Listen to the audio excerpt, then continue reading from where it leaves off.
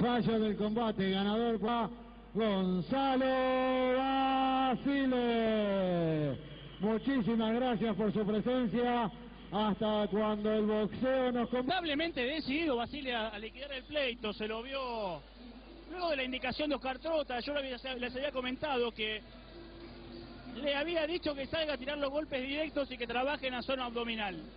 Y Basile lo hizo a la perfección. Buscó el hígado del brasileño, ese golpe realmente dolió mucho.